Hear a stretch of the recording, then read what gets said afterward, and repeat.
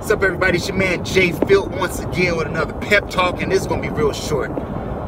And uh, I just want to talk about something that came to my mind from a conversation I had, and it was a question, right? And the question was, how do you keep going? How do you keep going in spite of everything that's going on and with life? And simple, simple answer, man. Everybody has stuff going on in their life. Everybody. You can't get away from it. If you're alive, there's something going on with you.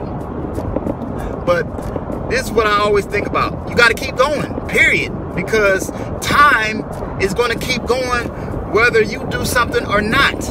Time don't stop nobody. so another thing you have to realize is you can't go back in the past. So whatever pitfalls you had, whatever mistakes you made, whatever failures you had, quote unquote, forget about it. Just keep going on. Think about today and the future.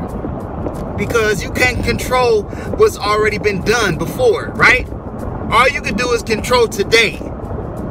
You know, so you can affect what's going to happen tomorrow. Does that make sense? I'm going to give you an example. And uh, again, forget about the failures, the missed shots. Here's the example Kobe Bryant. Kobe Bryant superstar NBA player, right? Retired now, obviously. but he has one of the highest number, he has the highest amount of missed shots in the NBA history. He's one of the highest, if not the highest. What does that tell you? He didn't care. he kept shooting, shooting, shooting. And this man is a five-time world NBA champion, man to me, top 10. Top 10 NBA players. That's just my personal opinion.